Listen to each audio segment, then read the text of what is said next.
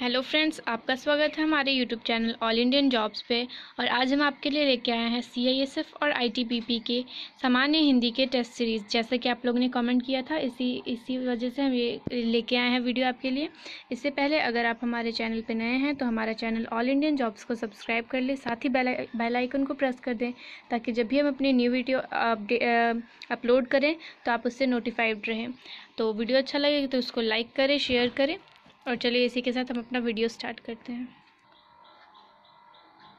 तो फ्रेंड्स, आज का हमारा पहला क्वेश्चन है, विच्छिन्न का अर्थ क्या है? ऑप्शन ए, टूटा हुआ, ऑप्शन बी, जुड़ा हुआ, ऑप्शन सी, छना हुआ, या ऑप्शन डी, थोड़ा सा।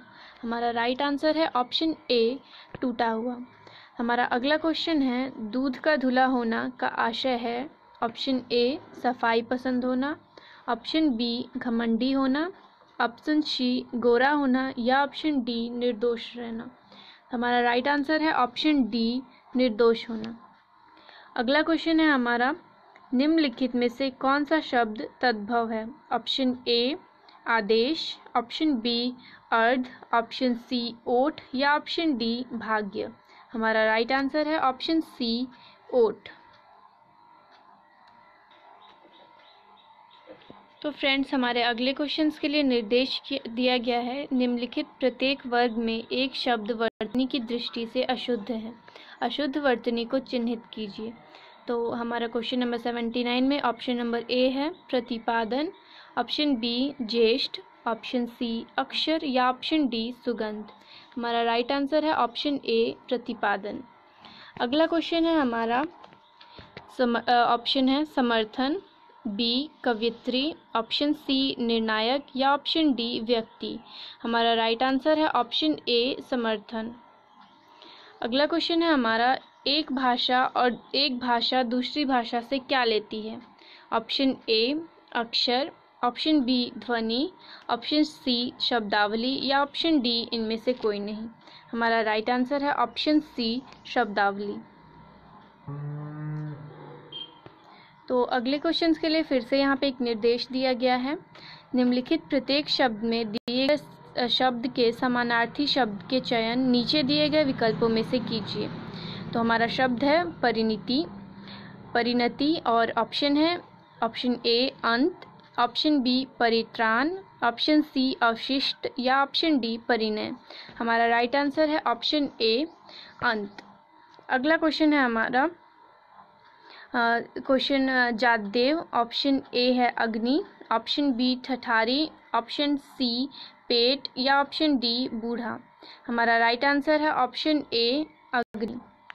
अगला क्वेश्चन है हमारा धनुष ऑप्शन ए सराशन ऑप्शन बी विशिरवासन ऑप्शन सी कापिक्ष, या ऑप्शन डी कोदंड। तो हमारा राइट आंसर है ऑप्शन डी कोदंड। तो अगले क्वेश्चंस में हमें आ, कुछ ऑप्शंस दिए गए हैं। उसमें परिवाची शब्द को छाटना है। हमारा पहला शब्द है व्योम जिसके ऑप्शंस हैं। ऑप्शन ए आकाश। ऑप्शन बी किरण। ऑप्शन सी अग्नि। या ऑप्शन डी ब्रह्मा। हमारा राइट आंसर है ऑप्शन ए आकाश। तो हमारा अगला शब्द है कानन। ऑप्शन ए मधुकर। ऑप्शन बी पुष्प ऑप्शन सी विहिप या ऑप्शन डी वन। हमारा राइट आंसर है ऑप्शन डी वन। अगला क्वेश्चन है हमारा दास ऑप्शन ए पादप ऑप्शन बी तात ऑप्शन सी भृत्य, या ऑप्शन डी श्रमिक। हमारा राइट आंसर है ऑप्शन सी भृत्य। तो फ्रेंड्स हमारे अगले क्वेश्चन के लिए निर्देश दिया गया है। दिए गए प्रत्येक वाक्य में रिक्त स्थान की पूर्ति उसी वाक्य में काले मोटे छपे शब्द के उपयुक्त विलोम शब्द द्वारा की जानी है। इसके लिए चार चार विकल्प प्रस्तावित है। उचित विकल्प का चयन कीजिए। तो हमारा क्वेश्चन है, कोमल शब्द सुनकर सांत्वना मिलती है न कि डैश शब्द।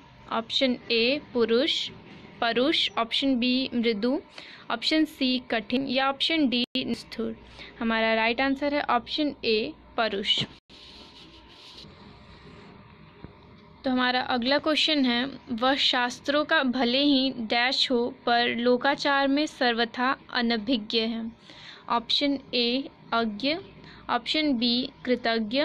ऑप्शन सी शास्त्रज्ञ। या ऑप्शन डी अभिज्ञ। हमारा राइट आंसर है ऑप्शन डी अभिज्ञ।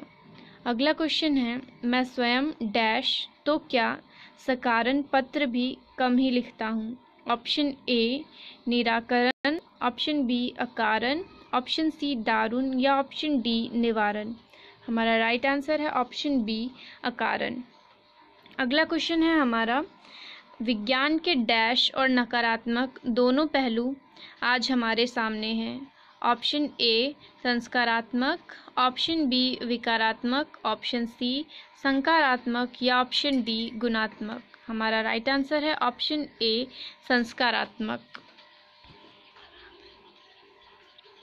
हमारे अगले क्वेश्चंस के लिए फिर से यहाँ पे एक निर्देश दिया गया है।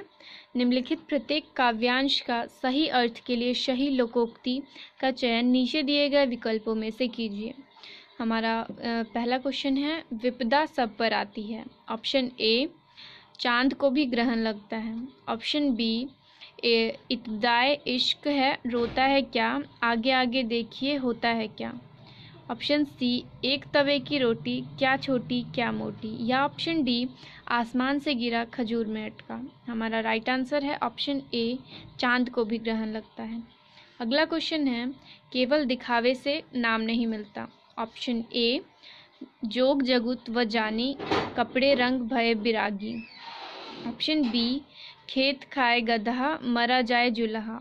ऑप्शन सी, आप मेरे बिना स्वर्ण नहीं मिलता। या ऑप्शन डी, कहने से कुम्हार गधे पे नहीं चढ़ता। हमारा राइट आंसर है ऑप्शन ए जोग जुगत व जानी, कपड़े रंग भय बिरागी। तो हमारा अगला क्वेश्चन है, विनाश करने वाले का विनाश निश्चित है। ऑप्शन ए नंग पड़े मैदान में चोर बलैया ले ऑप्शन बी, पराधीन, सपनेहु, सुख नाही. ऑप्शन सी, बकरे की माँ कब तक खेर मनाएगी? या ऑप्शन डी, चोर की दाढ़ी में तिनका. हमारा राइट आंसर है ऑप्शन सी, बकरे की माँ कब तक खेर मनाएगी? तो अगले क्वेश्चन के लिए यहाँ पे फिर से निर्देश दिया गया है। प्रत्येक प्रश्न में एक लोकोक्ति या मुहावरा दिया गया है। प्रत्येक के अर्थ रूप चार विकल्प दिए गए हैं। सही विकल्प का चयन कीजिए। तो हमारा पहला क्वेश्चन है, ऊँट रे ऊँट, तेरी कौन सी कल सी थी? ऑप्शन ए प्रत्येक काम बिगाड़ देने वाला। ऑप्शन बी धूर्त व्यक्ति। ऑप्शन सी जिसमें दोष ही दोष हो। या ऑप्शन डी जो हर एक को धोखा दे। हमारा राइट आंसर है ऑप्शन सी जिसमें दोष ही दोष हो। अगला क्वेश्चन है हमारा, खिसियानी बिल्ली खम्बा नोचे। ऑप्शन ए जो क्रोध में पागल हो जाए। ऑप्शन बी, शक्तिशाली पर वश न चलने पर दुर्बल पर क्रोध करना। ऑप्शन सी, सर्वथा निकम्मा हो या ऑप्शन डी, काम बिगड़ जाने पर सब पर गुस्सा करने वाला। हमारा राइट आंसर है ऑप्शन बी, शक्तिशाली पर वश न चलने पर दुर्बल पर क्रोध करना। तो हमारा अगला क्वेश्चन है, गोदान के रचयिता कौन है? Option A Tulsidas.